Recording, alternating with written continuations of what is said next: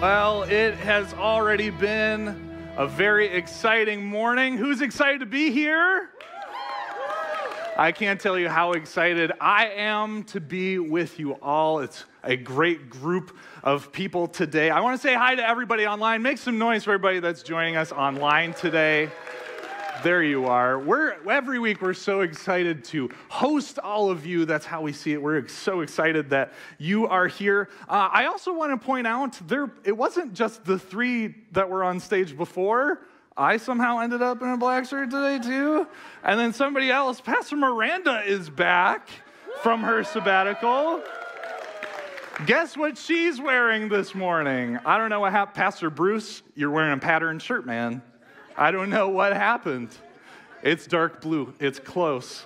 It's close. So last week we started our series on the seven churches of Revelation. In Revelation 2 and 3, there were seven real letters to seven real churches of that day. It wasn't figurative, it wasn't symbolic. These were real words that John actually sent via a messenger to these seven churches. And uh, do, do, these church, or do these cities sound like spices to anybody else? You've got your Ephesus, your Smyrna today. We've got Pergamum coming up. We've got some Thyatira, and then Philadelphia. No, that's they had their work cut out for them. They had to preach the gospel to a bunch of Eagles fans. I don't know what. Anyways, today, how we usually end our services is we have people gather in the groups uh, of people that they're sitting around to talk through these connect questions. What is God speaking to you today? What is one next step that you can take this week to, to walk that out? And then how can we be praying for you? We want to know how we can surround you in prayer.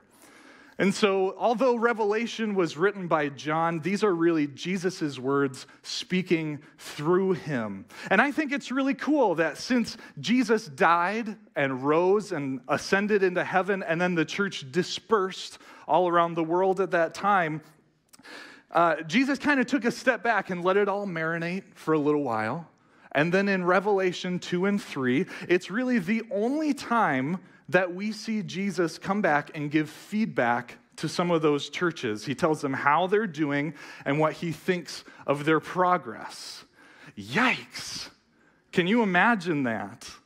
Imagine a mailman drops off a letter to real life church, and Pastor Jim opens it in front of all of us and reads us how Jesus himself thinks that we are doing. That makes me a little jittery just thinking about it. But that's the point. It wasn't written to us, it was written to the, uh, the people of the church in Smyrna at that time, but it was written for us. You'll see why. There's a lot of really important information here for us to have. So that's what we're going to do today. I invite you to stand with me for the reading of these verses. This is Revelation 2 8 through 11, titled To the Church of Smyrna.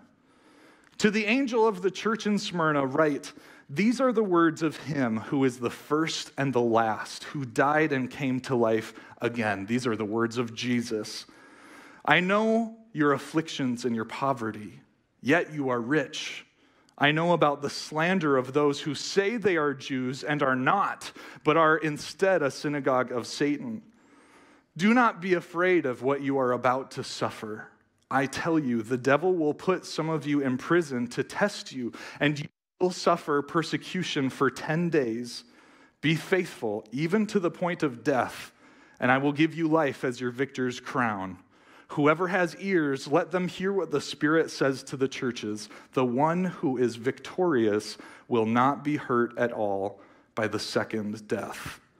Would you pray with me? Heavenly Father, once again, we're so thankful for what you're doing and for what you have already done, Lord. As we read these verses and break them down, see what they mean, I pray that you would bring supernatural meaning and help us to apply it to our daily life. Lord, we love you. Open our eyes to see this morning. In your name we pray. Amen. You can have a seat. Imagine receiving that letter. Awesome. Even for me, I know how I reacted when I first read it. We were divvying up who was going to preach what this summer, and Pastor Jim approaches me saying, You get an easy one. This is one of the two churches of the seven that Jesus actually says is doing a good job. And so I said, Sweet, easy Sunday. And then I actually read the verses. Not sweet, not easy, not easy. I was like, Pastor Jim, this is your church. This isn't my church. You want me to preach on suffering and martyrdom Sunday? You want me to do have that job? But seriously, imagine showing up and the pastor says, You guys aren't going to believe it. We got a letter from Jesus himself. And he says that we're doing a really good job. Isn't that great news? In fact, we're doing such a good job that he tells us we should prepare to die. I bet that drew a crowd. What do you title that sermon? But for real, what, what do you think their response was? Were they angry? Were they disappointed? Yeah, yeah, probably. Probably a lot of them. Because at first glance, this does not seem like good news. That's what it looks like at first, but it's really so much more than that. Here's the truth. I want to first go back and talk about some of the truth of Jesus. Are you ready for that? Following Jesus does not make life easier. It doesn't make life easier. A lot of people have fallen away from faith because they were told that living for Jesus would take away all of their problems and it was going to make life a lot easier.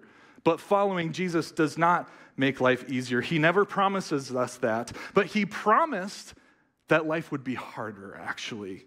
In John 15 and Mark 13, He says, If they hated me, they're definitely going to hate you. So expect some resistance. It doesn't make life easier, but he did say that his presence would make life better, life to the full. John 10:10 10, 10 says this, "The thief comes only to steal and kill and destroy. I have come that they may have life and have it to the full." The NLT says this, uh, I, I come so they would have a rich and satisfying life, which sounds a lot like, I know of your affliction and poverty, but you are rich, right? Matthew 6, 19 through 21, do not store up for yourselves treasures on earth where moths and vermin destroy and where thieves break in and steal. In other words, it's all temporary here. But store up for yourselves treasures in heaven where that stuff doesn't happen. For where your treasure is, there your heart will be also. And Jesus was more concerned with us living a full, sold out, kingdom of heaven focused life and even on the cross, when Jesus hung on the cross and the man next to him professed faith in him in that moment, Jesus didn't snap his fingers and save him, bring him to the ground, only for him to then endure more earthly suffering. Instead, Jesus gave him a promise. And it was the best promise that anyone could ever receive. In Luke 23 43, he tells the man, Truly I say to you, today you will be with me in paradise. So, which would you rather have? See, with an eternal perspective, we actually realize that this letter to Smyrna, though it doesn't look like good news at first, the letter to Smyrna is truly a message of hope. This message, first from Jesus to the church of Smyrna and then to us, is not a premonition of doom, but in these four verses, it's truly a thorough message of hope, one to bring peace and one to be a balm to an anxious heart. But before we understand what this message means to us, we first have to understand what it meant to them.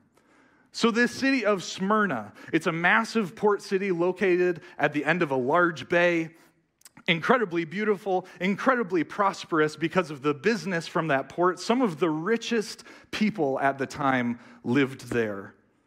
It was an amazingly beautiful, rich, and an Instagrammable place to live in all of Rome and Greece. By the way, when I typed in Instagrammable into Word to write this, the little red dotted line did not appear. And after some searching, after some studying, I found that it does belong in the Cambridge Dictionary, and there's some heated debate, but it has two M's. So don't tell me you didn't learn anything today.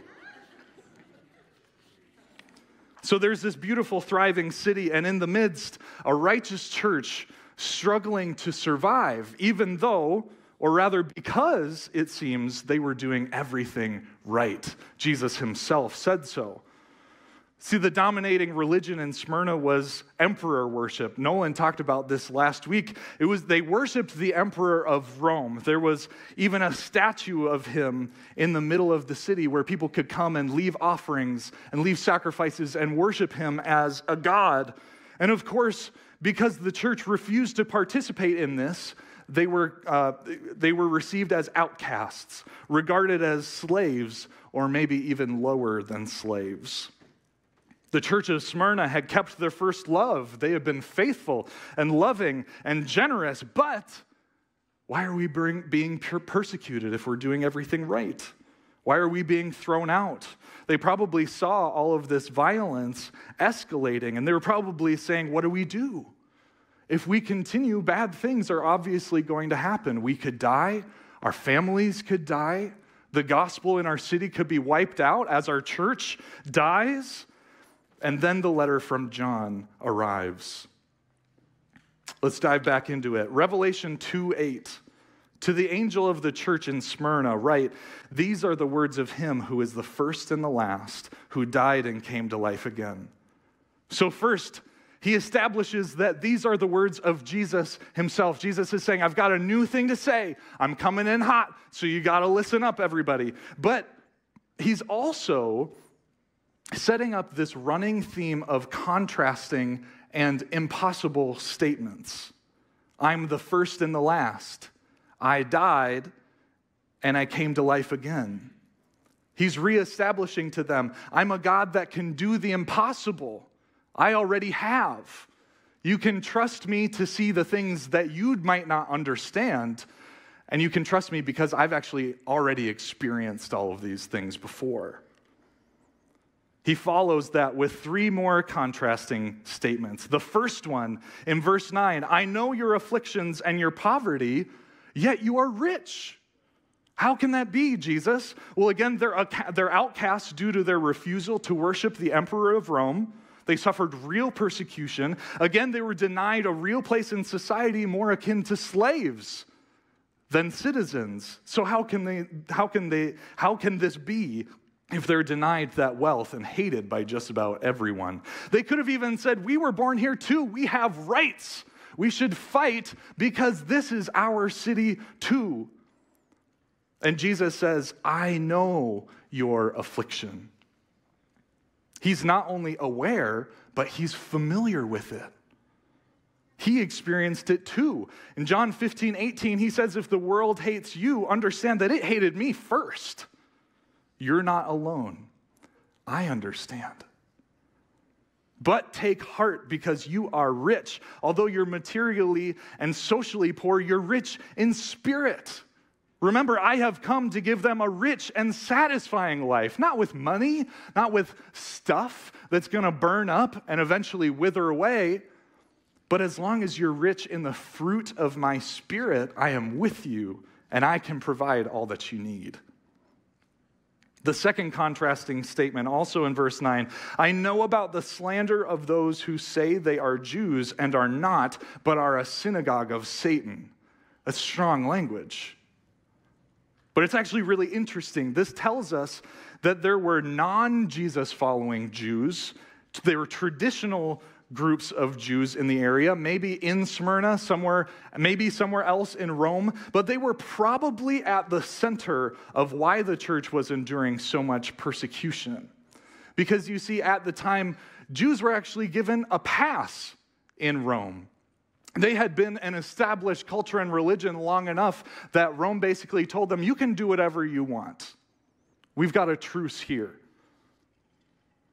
And the church in Smyrna, they weren't Christian yet. We use that word, but they didn't really see themselves that way yet. They really saw themselves as Jews still, but instead, Jews in the truest form because their Messiah had come and he had fulfilled all of their laws. And this means that they could have free, freely worshiped under the rule of Rome. And so, what happened? It means that Jewish leaders had gone to Rome and whispered in their ear, These guys aren't with us. You should take them out.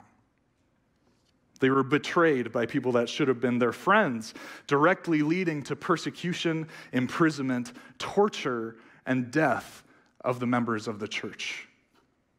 So, what is Jesus saying here? Is this anti Jewish rhetoric? No, not at all. He's not saying that they're Satanists. He's saying that they're not true Jews because they don't recognize his authority. He says, I know. Again, I'm not just aware, but I'm familiar. Do you remember when I was betrayed to Rome by a group of Jews? It happened to me too. I know what happened. It wasn't right, it wasn't fair. Whether they know it or not, they are not real Jews because they don't recognize my authority. And whether they know it or not, they're actually working for the enemy. He acknowledges what happens. And how does Jesus instruct them to respond? Does he tell them to reverse what happened? To at the very least confront what happened and put up a fight for their rights? No. He goes on in verse 10 to say, Do not be afraid of what you are about to suffer. It's going to happen. It's not going to be easy, but do not be afraid. I tell you, the devil will put some of you in prison to test you, and you will suffer persecution for 10 days. This probably meant that it was going to be a temporary time, and they would have the opportunity to denounce Christ and get out of that imprisonment and suffering. But it's an encouragement to stay strong and to stay faithful. And here's the third contrasting statement Be faithful even to the point of death, and I will give you life as your victor's crown. And see, the crown isn't a reference to kings and rulers. Instead, they would have understood this reference of crowns to sports. If you think back to the original Olympics, you'd see that someone that won a competition, won a race, won in wrestling, they would give them a wreath to wear on their head as a crown. It's a reward of honor. So Jesus calls them to a higher understanding. The winner is the one who loses, the winner is the one who dies. And the reward is everlasting life. Jesus says, I know because I already did it. I've been through it all before. Instead of a warrior's death, going down in a blaze of glory, taking down as many as he could, he instead offered himself willingly. To use imagery from the Bible, the victorious lion first gave himself as the slain lamb, and he invites them to do the same. Verse 11 whoever has ears, he's talking to us now. If you have ears, listen up. That's what it's saying. Whoever has ears, let them hear what the Spirit says to the churches. The one who is victorious will not be hurt at all by the second death. So, what does that mean? Well, first we have to talk about birth. The first birth is when we're born from our mother, it's the birth of the flesh. And then in John 3, Jesus introduces this idea of the second birth, a rebirth of the soul, of the spirit into the kingdom of God. So then, there's the first death, which is the death of the body, of the flesh, and the second death is the death of the soul. The Jews would have understood because to them, after the first death, the spirit goes to the afterlife. And if that afterlife is devoid of God's presence, it has experienced a true death because it's cut off from God. That second death was of greatest concern. To God, that was of the utmost importance. He says, if you're going to be worried about anything, be concerned that you aren't with me after all of this is done. But if you remain faithful through the suffering you are about to endure, there is nothing to fear. And how does that happen? Well, again, it's the victory. Again, it's not when our culture has won. It's not when the Romans and false Jews have been vanquished. It's not when you've taken up the sword and gone down in a blaze of glory. Victory is when you have lived, surrendered, and died on behalf of Jesus. So now we have the full understanding of the letter to its intended audience. But what about us? What does this mean to the church in America in the 21st century?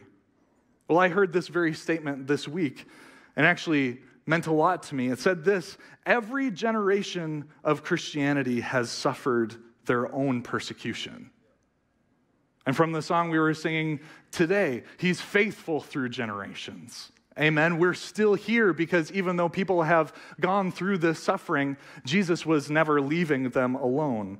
And I don't have to tell you that ours is different and lesser. We don't have to talk a long time about that. Compared to the church of Smyrna, even to real suffering uh, many modern Christians today experience around the world, ours is much more of a suffering of inconvenience. Yeah? Come on, if one of the battles we've been facing is the war on Christmas, we're doing okay. All I'm going to say, I'm going to put it to bed. Of course, we're not experiencing the same suffering as the church of Smyrna. But we do still face our, our own kind of discomfort and discord today. And I agree with Pastor Jim. Things don't look the way that they did a long time ago. Things are changing rapidly in America, for better or for worse. They don't look different, or they look a lot different than they did 20 years ago, or even 10 years ago, or even five years ago. And I get that for so many people, there is fear and uncertainty and a lot of anxiety wrapped up in that. There's even pressure to put up our fists and fight back. There's a culture war going on, and we got to get on the offensive. And I'm not saying that we shouldn't be involved in political conversations. We should be making it a better world and confronting these things. But the question is where does our hope lie? Where does our peace come from? Do we put our trust in people? No. Do we put our trust in earthly storehouses? No. There's only one who can offer hope and peace. And I've been reading these scriptures a lot this week, and I can give you a word from the Lord today. It is going to be okay. It is going to be okay. If you take home one thing from the message on the church of Smyrna, these four verses in Revelation say this that no matter what happens, no matter what we face, whether it's, in, it's a simple, uncomfortable conversation with a neighbor, or if we get to the point where the government is dragging us out of our homes and putting us to death, Jesus' words are this It is not going to be easy, but it is going to be okay. Take heart do not be afraid of what you are about to suffer. Be faithful even to the point of death, and I will give you your victor's crown. So it's not easy to say, but persecution, let it come. Do not be consumed by fear and anger. Is it wrong? Yes. Is it unfair? Yes. But our treasure is not in what is right and fair and just in the world.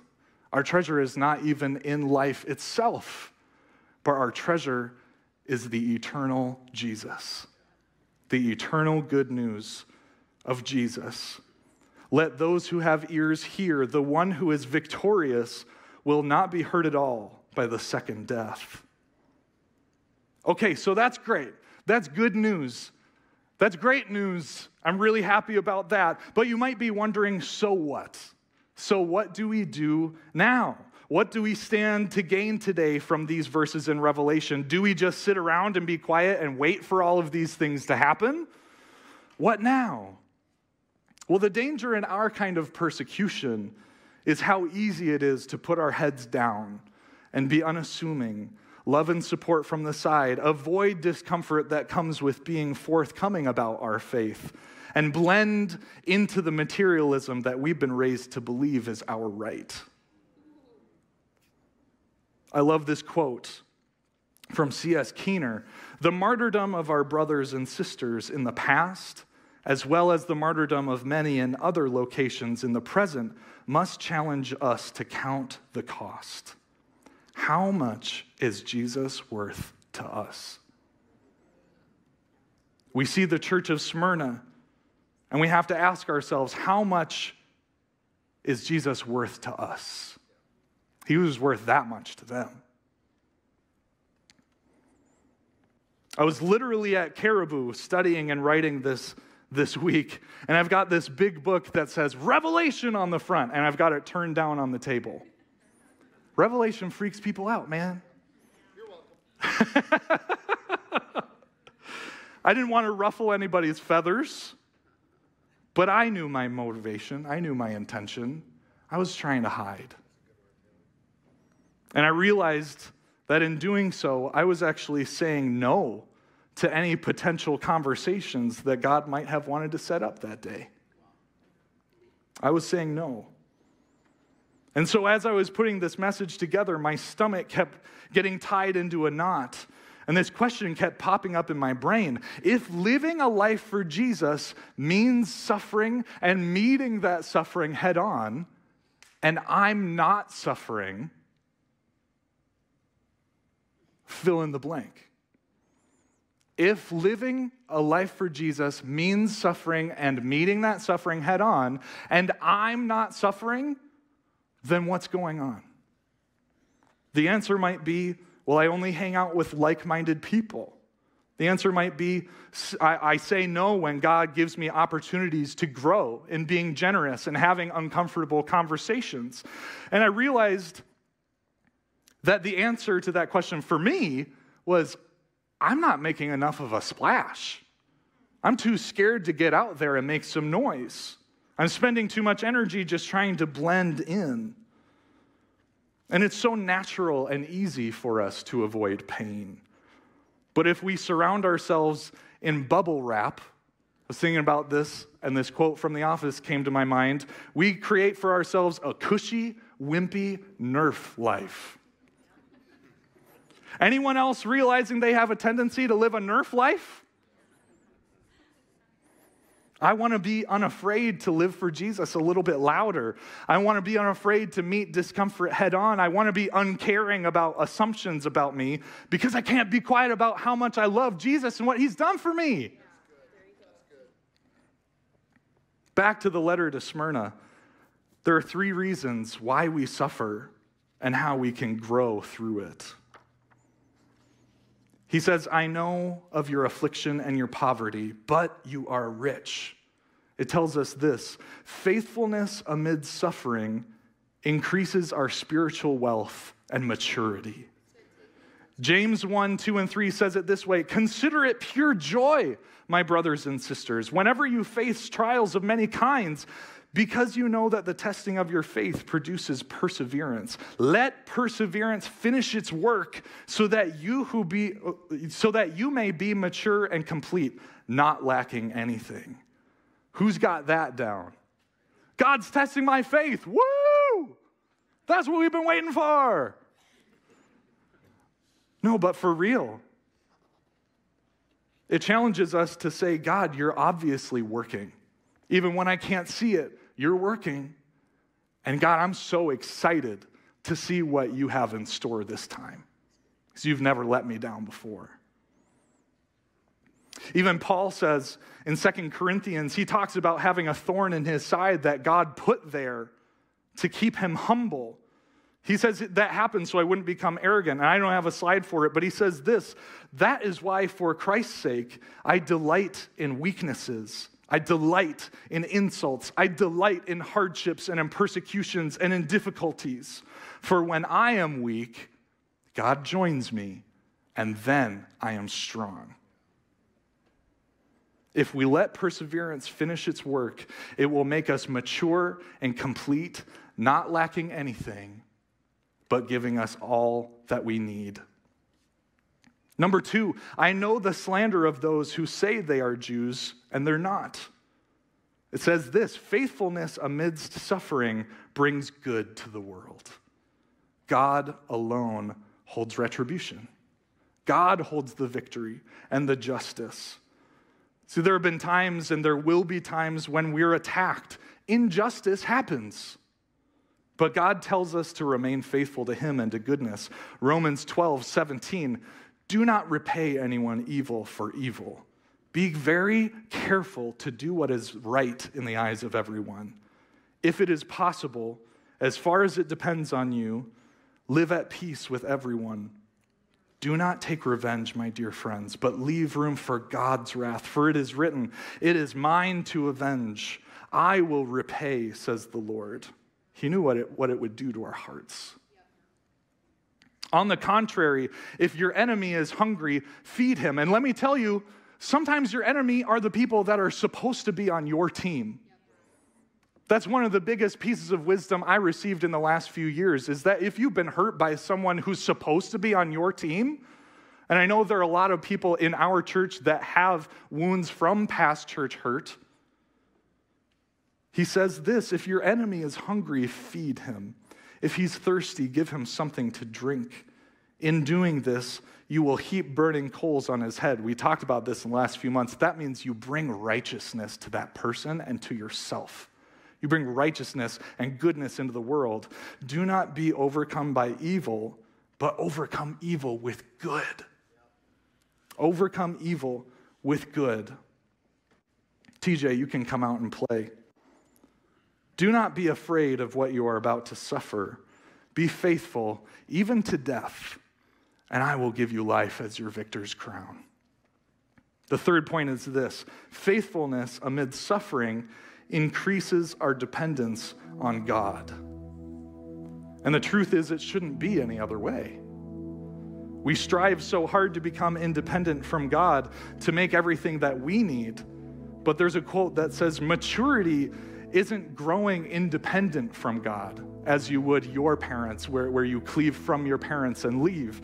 Instead, maturity is learning to be dependent on God.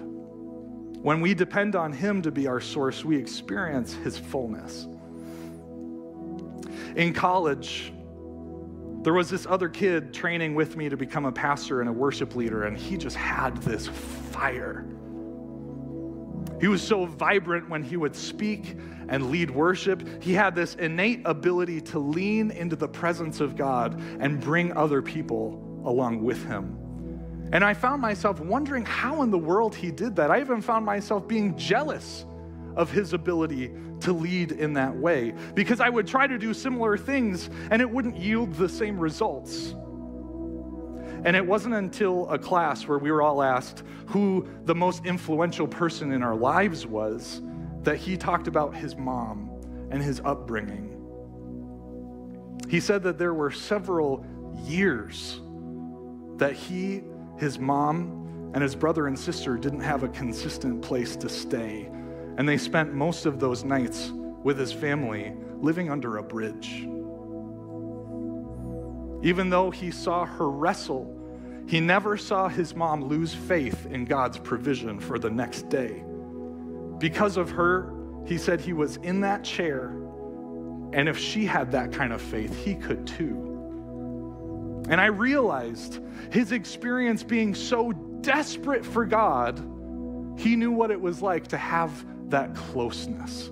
A closeness that I would never understand unless I learned to depend on God and be desperate for Him in the same way. It's the same dependence that we see thriving in persecuted churches all around the world today. People are experiencing God in such an extreme way because their lives, their very lives, depend on Him. And they're desperate for Him to move.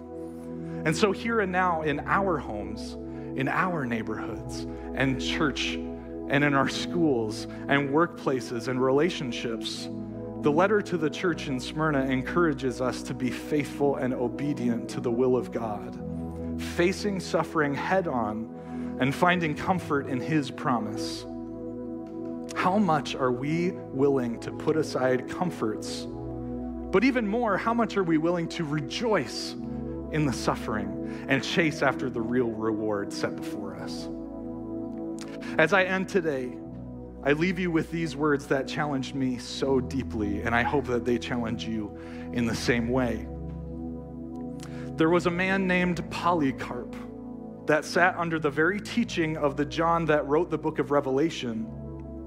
And not long after Smyrna would have received this letter, Polycarp became a leader in that very church and an influential part of the community.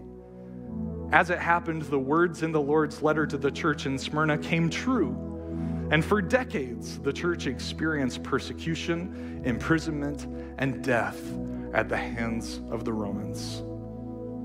Polycarp, the leader in the church of Smyrna, was no exception, and he was eventually captured and killed. However, he was so well liked throughout the city that it is said that even the guard that led him to the stake pleaded with Polycarp to denounce Jesus so that he could live and continue doing his good work in the city. But Polycarp had taken these words of God to heart and had a holy, eternal perspective, and he responded in this way. This is what he said 86 years I have served Jesus, and he has done me no wrong. How then can I blaspheme my King and Savior? You threaten me with a fire that will last for an hour at most, but I'm not ignorant of the fire of everlasting punishment that is prepared for the wicked. They tied him to the stake, and before he died, he said, I bless you, Father. I bless you, Father, and I give thanks that you have counted me worthy to be among the number of those that have died for your cause. He considered himself one of the lucky ones. And then he went home, and I can only imagine that he was presented with the victor's crown of life. There's hope. We can have hope. No matter what happens here, Jesus promises us that if we remain faithful and keep the eternal perspective, there is no thing on this earth that can take his reward, which is true, full life. His reward is himself. No thing can take that away from us. Let's pray. Jesus, we thank you. We give you glory, Father, for your goodness. Lord, we thank you for your faithfulness.